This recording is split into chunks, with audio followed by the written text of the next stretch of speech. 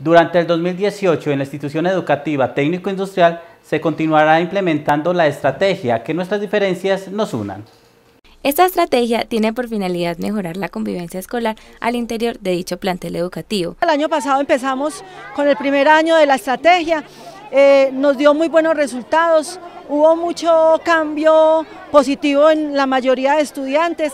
Lo más importante de esta estrategia es que todos están luchando por un mismo fin, que es el cambio positivo hacia el mejoramiento. Todos los grupos asumen el nombre de clan, la figura de clan, eh, se ponen un nombre, se ponen una porra, un tótem, que es una forma, una figura que los identifica, y a partir de ahí ellos empiezan a luchar como grupo, como clan, por mejorar por participar de cada una de las actividades que nosotros las llamamos retos.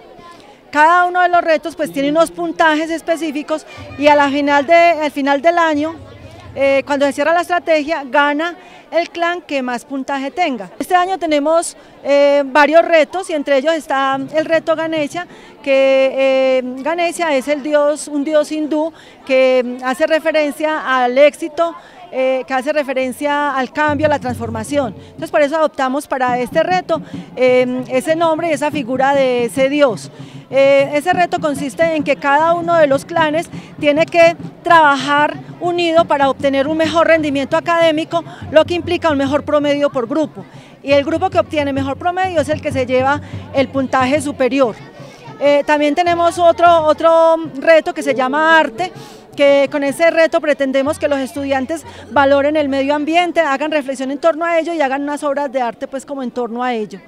También tenemos el reto de la llama olímpica, que es en la semana institucional, el reto de la carrera de observación, que es en la semana eh, de septiembre, que es la semana de la convivencia.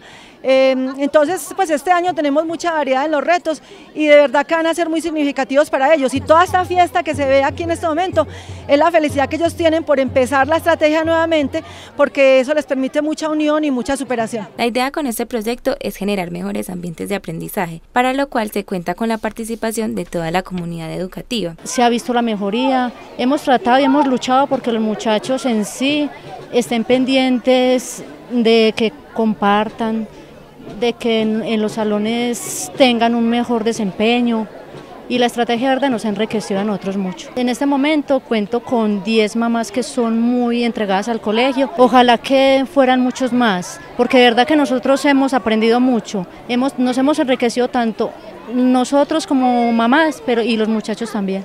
Había muchas dificultades en el tema de convivencia, por eso entonces los estudiantes con esta actividad se tienen que unir, las diferencias las tienen que dejar a un lado.